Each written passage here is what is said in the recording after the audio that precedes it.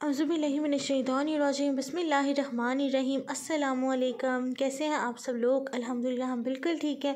अल्लाह पाक से दुआ करती हूँ कि सबको अपने घर में ठीक ठाक रखें, हर दुख दर्द तकलीफ़, बीमारी, मुसीबत से बचा के रखें। आमीन सुम आमीन। तो जी, यहाँ पर मैं अपनी बेटी के लिए कॉर्नफ्लेक्स और दूध बना रही हूँ। क्योंकि सर्दियाँ हैं ना तो अच्छा लगता है हॉट हॉट सा ब्रेकफास्ट मतलब कुछ समथिंग ऐसी विच इज़ ब्रूइंग जिसमें से धुआँ उठ रहा हो।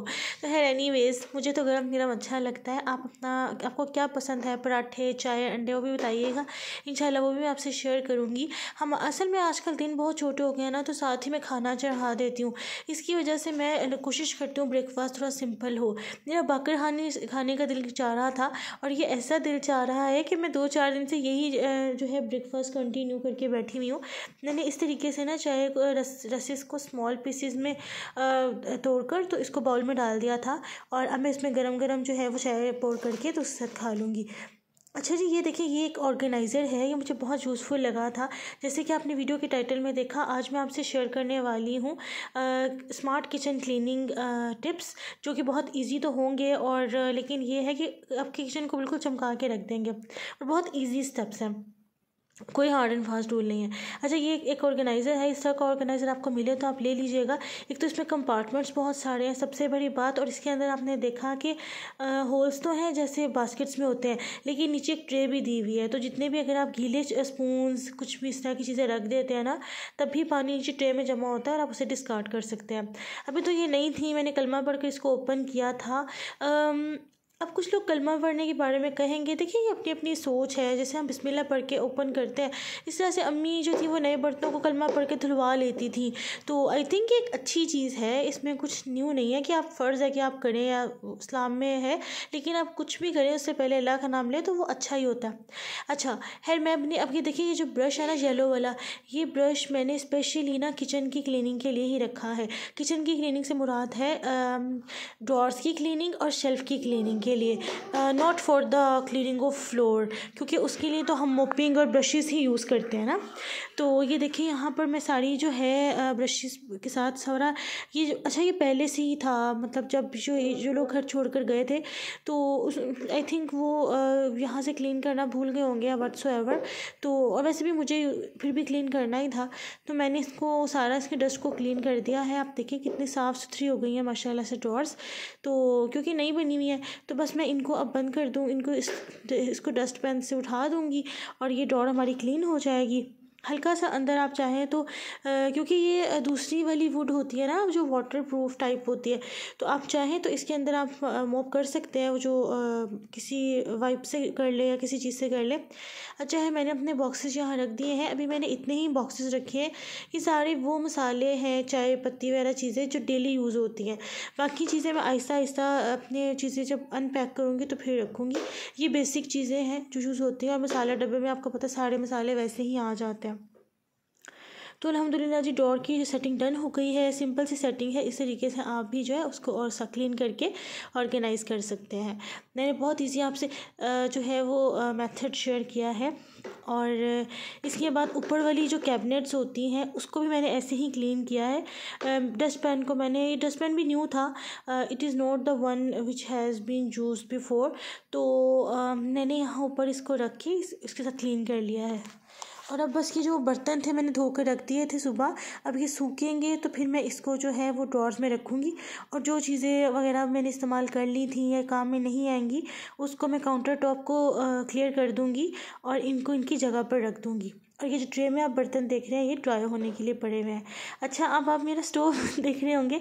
एक्चुअली ये ना न्यू हाउसिंग सोसाइटी है तो यहाँ पर गैस का कनेक्शन का अप्रूवल आ चुका है लेकिन अभी तक हमारे ब्लॉक में कनेक्शन नहीं आया। इस वजह से सब लोग जो हैं हर घर में यहाँ पर मोस्ट ऑफ़ द टाइम जो है आ, गैस का सिलेंडर ही यूज़ होता है। तो इसलिए उसके लिए ऐसा स्टोव रखा हुआ है मैंने। वैसे मैं ऑटोमेटिक भी पसंद करके आई थी। आ, अभी देखते हैं इफ़ आई वांटेड तो मैं शायद वो ले लूँ लेकिन अल्हम्दुलिल्लाह, ये भी काम अच्छा दे रहा है। तो अच्छा शुरू शुरू में मुझे गैस के सिलेंडर को यूज़ करने से डर भी बहुत लगता था, लेकिन कहते हैं ना, ज़रूरत ही ईजाद की माँ होती है, और अल्लाह ताला आपको हिम्मत दे देते हैं, आपको हौसला दे देते हैं। खैर एनी हो अल्लाह पक सबको अपने हिफ्ज़ अमान में रखे, आमीन सुमामीन अच्छा जी तो ये देखिए, ये वाला, वही वाला ब्रश है, मैं इसे काउंटर टॉप क्लीन कर रही हूँ। अच्छा ये वाला जो काउंटर टॉप का जो गंद है ना, ये मैंने ही डाला था, ये पहले से नहीं डला हुआ था। तो मैं मैंने इसको इसलिए क्लीन नहीं किया था, वरना अब मैं साथ साथ ही क्लीन करके रखूँगी, क्योंकि मुझे आप लोगों के लिए एक वीडियो बनानी थी सिंपल सी। तो इस वजह से मैंने इसको जो है ज़्यादा क्लीन नहीं किया था क्योंकि मुझे आपसे शेयर करना था। बहुत सी लड़कियाँ ऐसी हैं, जैसे मैंने कब, मेरी अम्मी ने कभी मुझसे कभी कोई काम नहीं करवाया था तो मुझे नहीं पता था कि चीज़ों को कैसे क्लीन करके रखना है, कैसे मैनेज करना है। लेकिन क्योंकि अगर आपने अपनी माँ को बहुत ऑर्गेनाइज और इस तरह से देखा हो तो फिर आप में वो चीज़ें ऑटोमेटिकली आ ही जाती हैं। और बाकी वक्त बहुत अच्छा उस्ताद होता है। अच्छा है, ये देखिए, ये यहाँ पे ये हो गया। अच्छा ये जो है ना पॉकेट परफ्यूम ये मैंने अम्मी को गिफ्ट किया था और अम्मी के पर्स में रहता होता था। तो जब उनकी डेथ हुई तो इसको फिर मैं ले आई थी कि उन्होंने इसको इतना संभाल के रखा हुआ था। हालाँकि चीज़ें एक्सपेंसिव नहीं होती, लेकिन देने वाले के हलूस की बात होती है और लेने वाला उसे कैसे रखता है, ये बात होती है। मैंने इसको यहाँ किचन के काउंटर टॉप पर रखा हुआ है। मैं क्या करती हूँ मैं इसे कैसे यूज़ करती हूँ, वो भी बहुत यूनिक और स्मार्ट आइडिया है। अभी आप आगे देखिएगा। इसके अलावा मैं तो है इसको बैग्स पे भी स्प्रे कर देती हूँ, खुशबू बहुत अच्छी आती है और एक एहसास ही अलग होता है और आप वो समझ सकते हैं कि क्यों। हेयर अब काउंटर टॉप जो है वो क्लीन हो रहा है। अच्छा जी यहाँ बहुत मज़े की चीज़ हो गई, वो ये थी मैंने ये सोल्यूशन प्रिपेयर किया था और वो कैमरा ऑन नहीं हुआ था। तो इस वजह से वो रिकॉर्ड नहीं हुआ। ये बहुत सिंपल सा है। मैंने आपके साथ जो स्टेनलेस वाला सोल्यूशन है, वो अलग शेयर करूँगी। ये सिर्फ़ सिंपल सा, झटपट सा बनने वाला है, क्योंकि स्मार्टली हमने उसको ऑर्गेनाइज करना है। तो बस जल्दी जल्दी स्मार्टली का मतलब है टाइम भी सेव करना है। तो मैंने ये वाला सोल्यूशन इसमें डाला था पानी में और साथ मैंने जो परफ्यूम आपको दिखाया था, कोई भी परफ्यूम आपके पास पड़ा हो बॉडी स्प्रे पड़ा हो, उसको थोड़ा सा ना सिर्फ़ जस्ट जस्ट वन स्प्रे उसमें कर लें तो उससे ये होगा, आपके काउंटर टॉप से खुशबू बहुत प्यारी आएगी।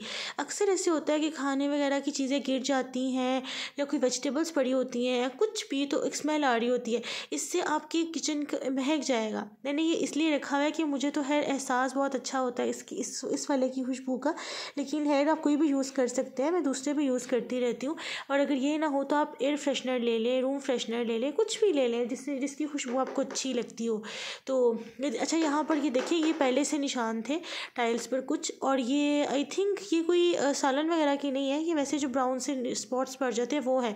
और बहुत ईजीली और बहुत अच्छे तरीके से इससे रिमूव हो रहे हैं। तो इस तरीके से जो है, आप क्लीन करें तो आपका बहुत अच्छे से साफ़ हो जाएगा। ये देखें कितना गंदा हो गया।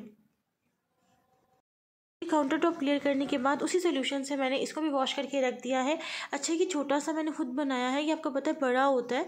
ये जो स्पॉन्टेक्स के मिलते हैं किचन क्लीनिंग के जो वाइप्स होते हैं, ये वाले मतलब मोटे वाले, ये मैंने इसको हाफ़ कर दिया था ताकि हैंडी हो काफ़ी ना। तो जी, देखिए, अल्हम्दुलिल्लाह से किचन बिल्कुल जो उसके काउंटर टॉप है किचन है शेल्फ्स हैं, वो बिल्कुल क्लीन हो गई हैं। और ये देखिए कितना मतलब बिल्कुल भी कोई मेस नहीं है और खुशबू भी बहुत अच्छी आ रही है। तो इस तरीके से स्मार्टली आप किचन को क्लीन कर सकते हैं। आई होप आपको जो मेरा ये खुशबू वाला भी आइडिया ये अच्छा लगा होगा। तो कोई ना कोई यूनिक आइडियाज़ जो हैं, वो शेयर करने से मतलब काफ़ी अच्छा लगता है। और ये देखिए, ये इसके अपर कैबिनेट्स है। कैबिनेट्स भी बिल्कुल क्लीन थी तो उनको मैंने नहीं किया। अंदर से मैंने उन्हें क्लीन कर दिया था, वो मैंने आपको दिखा दिया है। बाहर बिल्कुल भी धूप नहीं निकली हुई, ठंड है काफ़ी। तो बस इस तरीके से अब ये चीज़ें हो गई हैं। और ये देखें आप गौर करें, बिल्कुल भी इस तरीके से। अगर आप हर अल्टरनेटिव डे पर भी आप हर अल्टरनेटिव डे पर भी इस तरीके से क्लीनिंग कर लेते हैं ना तो आपका किचन जो है बहुत ज़्यादा क्लीन हो जाता है साफ़ सुथरा हो जाता है और आपको बार बार सफ़ाई की ज़रूरत नहीं पड़ती। और ये बाहर का भी मैं आपको व्यू दिखाती हूँ इस तरीके से है और ये सामने वाला प्लॉट तो भी खाली है और बस इस तरीके से। आसो बहो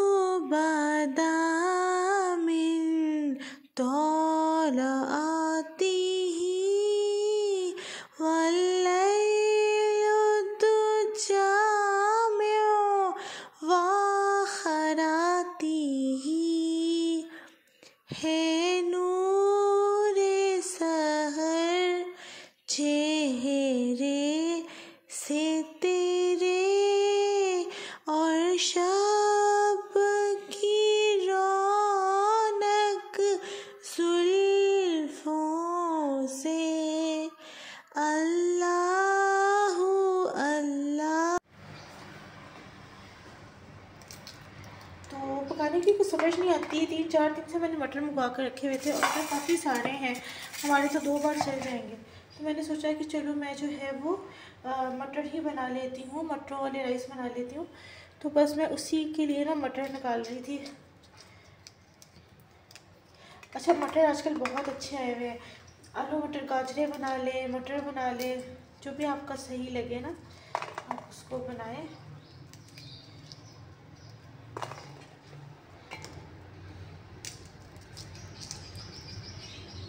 और एक मैं बात और कहना चाहूँगी कि हमें हर एक की रिलीजन की रिस्पेक्ट करनी चाहिए हर एक को मजहबी आज़ादी भी पाकिस्तान में हासिल है होनी भी चाहिए। आ, लेकिन हमें उसमें शिरकत नहीं करनी चाहिए क्योंकि बींग अ मुस्लिम हमारा जो ईमान है वो ये है कि अल्लाह पाक एक है उसकी कोई औलाद नहीं है ना वो किसी की औलाद है। वही सबका रब है पालनहार है, पैदा करने वाला खालिक है। तो जितने भी लोग जो भी अकीदे पर हैं, बस अल्लाह ताला से दुआ है कि अल्लाह ताला उन्हें, हमें सबको जो है वो सरात मुस्तकीम पर चलाए और जो है हमारे लिए जो है वट कैन आई से आसानियाँ करे। आमीन सब आमीन क्योंकि faith is like a soul